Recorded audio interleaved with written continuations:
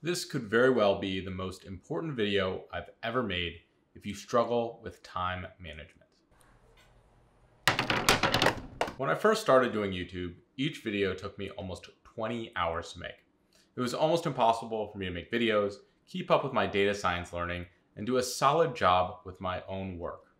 Over the last two years, I've started to crack the code to balancing YouTube, my work, and my leisure time. These are the ultra super secret techniques I use to stay on top of things. Ken, these seem kind of obvious. Okay, fine, Dad. Maybe these aren't super secret, but I firmly believe if you integrate some of these things into your life, you'll be able to manage more with lower stress levels. I want to first start out by 100% calling myself out for the video title here. I personally think that balance is actually a myth.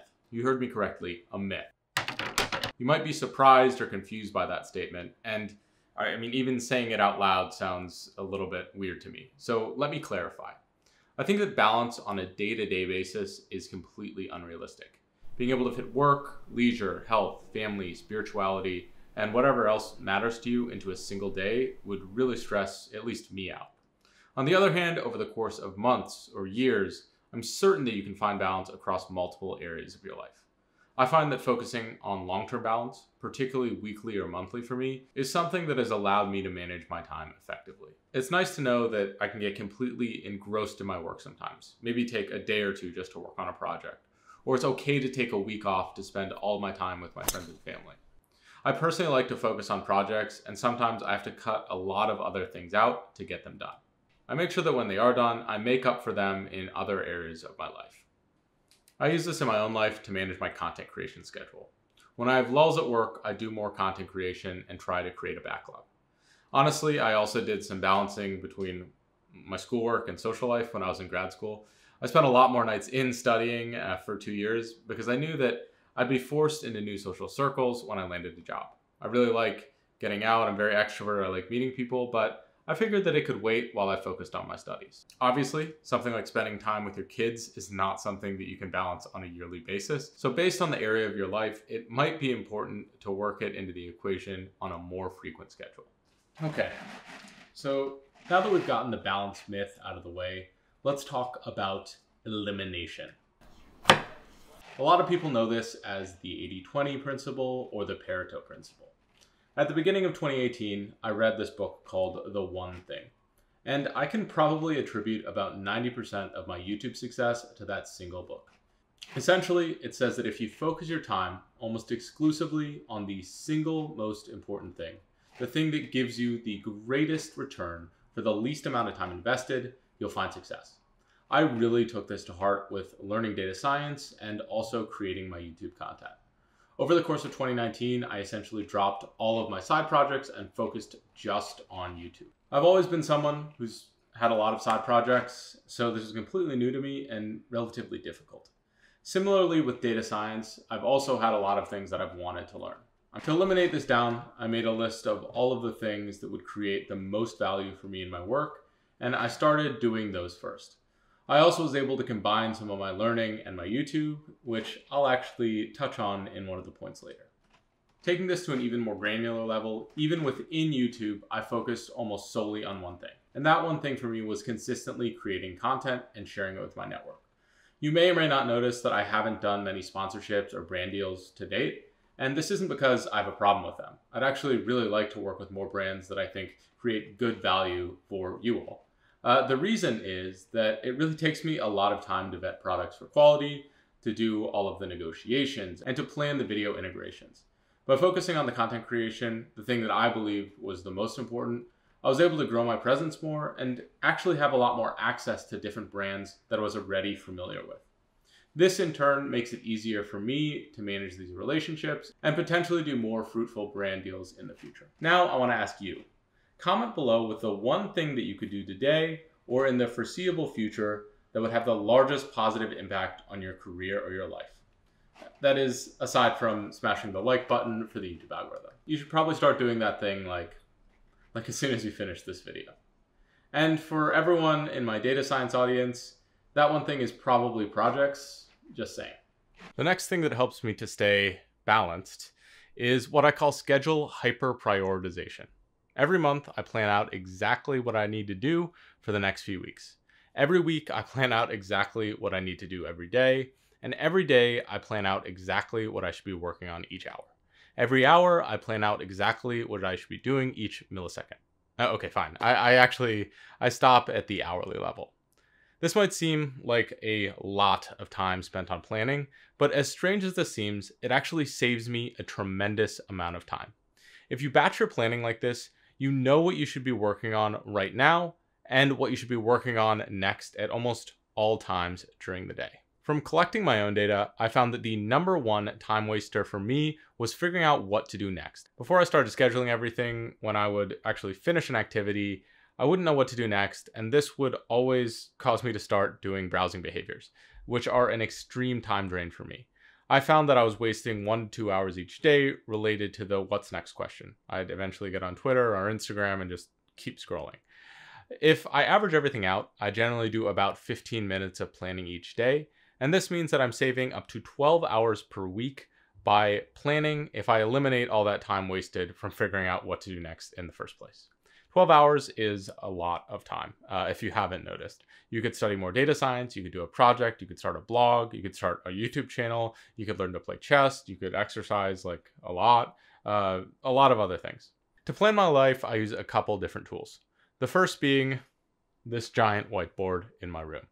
Here, I break my life down into the different things that I have going on. Admittedly, I might not be doing the best job of that whole one thing uh, that I mentioned in, in the previous tip. On this whiteboard, I break down each week and the things that I should be doing.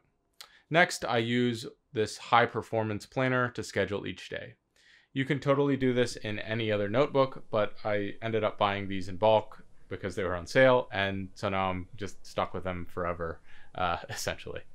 I use my personal notebook to plan each month. I also write down everything that I did each day uh, for my own, I guess, data collection. Each night, I mark down what meetings I have the following day and what tasks I need to finish the following day. In the morning, I then go through and fill in when I'm going to complete each task around my meeting schedule that I set the night before. If I get something done early or I take too long to do something, it's really important that I reschedule my day to account for this. I used to use a, uh, a dry erase board to do this, and that might be better if my schedule is moving around a bit. Um, as of now, I found just writing it in and scribbling things out works well because I'm getting better at predicting how much time things take. A huge difference maker in my life has been scheduling my most important thing first in each day. If you knock that out early, you can almost always consider that day a success. There's probably some pretty sweet, just like behavioral psychology surrounding early wins, but admittedly, off the top of my head, I don't have anything to reference for that. I just know that if I get my most important thing done, I'm almost always happy with my day, even if I did literally nothing else. Another important part of planning is seeing what parts of your life overlap. Oftentimes, I'll make a YouTube video about a topic that I needed to learn for work anyway. When I do this, I'm getting what are called economies of scope. This comes from economic terms, and it basically means that the cost or the time of producing two things together is less than producing each thing separately. For me, I try to overlap as much work and content as I can. I recommend doing this with your data science learning as well. Really dive into the topics that you're going to need for your work. Write blogs about them, think about how they could help you in other areas of your life. A great example of this is my leaderboard project that I built recently. I wanted to do a fun project showcasing some of the different techniques. I needed to do something similar for my actual job, and this product could also help my subscribers to stay more engaged and have more fun with the channel. Everything seemed to align for me to build that project, and that's why I did it. Sometimes, even when we leverage economies of scope, there are still things that we just aren't efficient at. My next tip is to ask for help when it's needed. Thanks. When a tool or other people can do a portion of your work better at a lower cost than your time, it's worth outsourcing. Honestly, this is something I've really struggled with. I like to have control over my process, and it takes time to find systems and people that you really trust to work with you. Still, I think this is so worth it. This year, I've started getting help with my podcast. I hired an intern, Mario, to essentially do all of the editing related to that. The editing is a lot less intensive than the videos on my main channel, so it was a good step towards potentially outsourcing more things. I also brought on my good friend Bobby to help me work more with sponsors and to add some quality assurance to my channel. Hopefully, this leads to a few really awesome, well researched partnerships this year. Help doesn't just have to be other people. You can also use systems or tools to save you time. A great example of this is Calendly. I recently switched to this to start scheduling my meetings, and it's, it's really helped me out. Another one is Frame.io, which I use for sharing my videos and getting feedback from people that are helping me out. Again, delegating some of these things that I enjoy less or be less efficient at means that I can really focus on content and engaging in the community, the things that I enjoy and the things that I think I'm best at. When you ask for help and you start to do more work that's fun for you and less of the work that isn't, you might start to find additional enjoyment. Something that's really helped me to do more has been finding ways to make my tasks seem more like leisure. This can be difficult to do, but it can be one of the secrets to the balancing act. One way to do this is to use complementary tasks. For example, if I code a lot during the day for work, making a video uses a very different part of my brain, so I have way more energy to do that after a long day. This is one of the reasons that I've chosen YouTube over blogging more. I can make a YouTube video after that long day of work, but to me, blogging uses many of the same parts of my brain as coding does.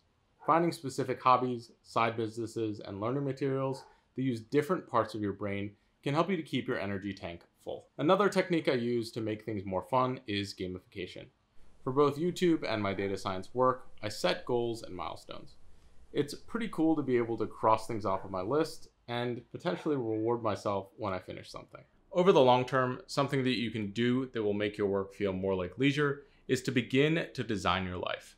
You choose roles that allow you the types of freedoms that you want. You pick hobbies or side hustles that you find fun and interesting. You chase the things that you want to do the most. I'm very fortunate that my work allows me to spend a lot of time creating content. My schedule is probably more flexible than most people's in regards to that. I think there was probably some luck involved, but I worked really hard to build a strong track record, and I thought really hard about the types of roles I wanted and the companies that I wanted to work for. Admittedly, I probably get paid just a little bit less than other people who have similar roles, but I'd happily make that trade off any day of the week if it means I get to create YouTube videos, engage in the community, and, and to do this as part of my life. Something that you can do now to start designing your life is as simple as organizing your workspace. You have control over where you put your phone when you work, where you study, and quite a few other factors. You can set up your desk or your office to reduce distractions and keep you on track. As you can see, I have a penchant for whiteboards.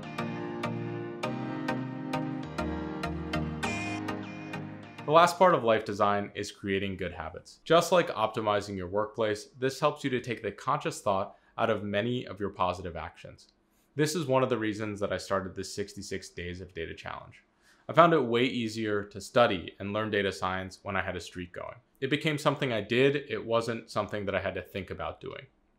If you want something actionable from this video, try starting a new habit today.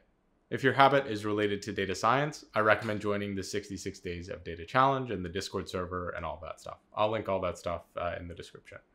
I still absolutely have a long way to go, but these concepts have changed my work, my life, my health, and my happiness. And I hope they help you out too. Thank you so much for watching and good luck on your data science journey.